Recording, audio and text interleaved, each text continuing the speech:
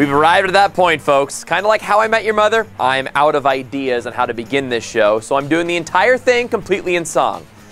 I'm totally kidding. Though I do have some cool videos for you guys. Welcome back to The Loop, and I'm Carter Nacky. In case you didn't notice a few weeks ago, I'm a pretty big fan of Emma Stone.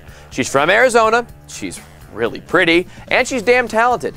She's also not without her musical preferences, though I'm not exactly on board with those. Here's the story from A to Z. You want to get with me? You better listen carefully. We got M in your face who likes it. We got G with MC who likes it on Easy B. Doesn't come for free. She's a real lady. But never fear, Miss Stone has redeemed herself. She was on The Tonight Show with Jimmy Fallon, and he challenged her to a lip syncing contest. Fallon normally rocks the show. He started strong. Taking all the liquor straight, never chase that. Now rooftop like we bringing 88 back. What? The hooks in where the bass. Champagne spilling, you should taste that. I'm so fancy. But then came Emma, and holy crap, did she bring it! Her first song was good.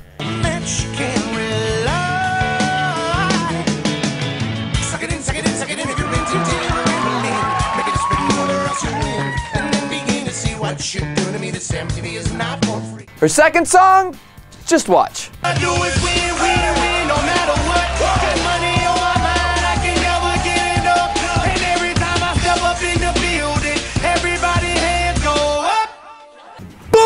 Game over, Fallon. What's next? Ten months past, we got this down. Good thing, cause we're telling you, we're telling you, we are having, having, having another baby. Dear God, why? Oh, the world did not need this. As a guy in his mid, fine, late 20s, I have a lot of friends having kids. I get the little postcard in the mail or see the news on Facebook, say, that's nice, and move on with my day. But Nate and Erica Eaton had to take it one million steps further. We are having, having, having another baby. You're shocked, so are your friends, so are our friends, so are we. Can I ask just one favor? If you're going to put your own twist on a song, can you at least make it good? Everybody's cooking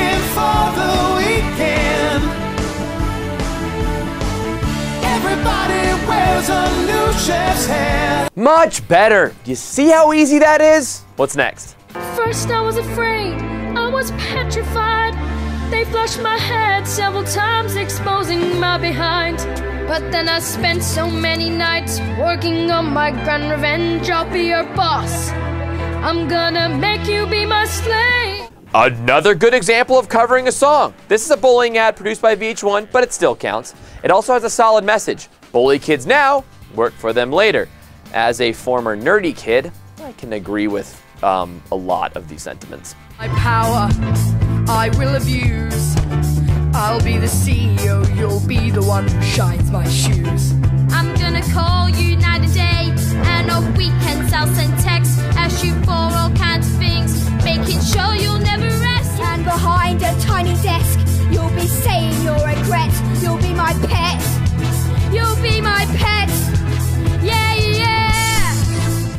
But as a professional on Facebook, not so much.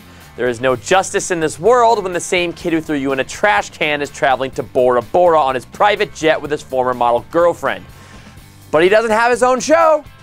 Just all that other really awesome stuff.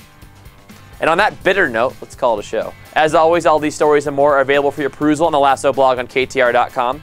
Sharing the loop would be great. There are buttons there and buttons there to make it very easy for you. Go on, click away. And now that you've shared, let's close it out on a high note. Do you want to see how a dad reacted when he found out he was going to be a grandpa? Actually, no. right.